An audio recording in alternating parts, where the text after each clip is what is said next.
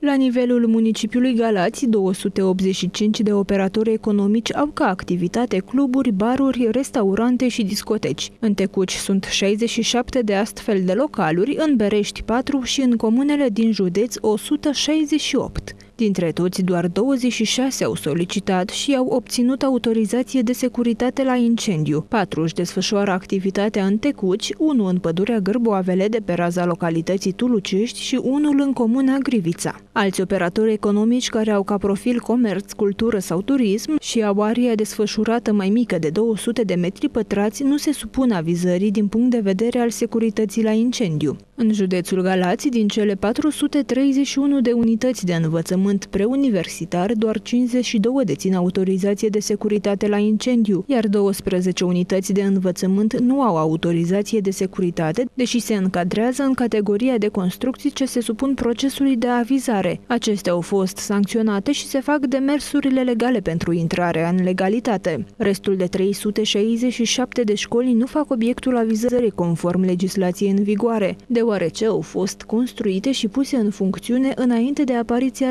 reglementărilor privind autorizarea, iar până în prezent nu au făcut extinderi, modernizări ori schimbări de destinație. În perioada 5-22 noiembrie 2015, Inspecția de Prevenire din cadrul ISU Galați a desfășurat 60 de controle la operatorii economici cu spații destinate alimentației publice, turism și agrement, ocazie cu care s-au constatat 94 de deficiențe. S-au aplicat sancțiuni contravenționale, dintre care 53 avertismente și 39 de amenzi, în cuantum de 200.000 de lei.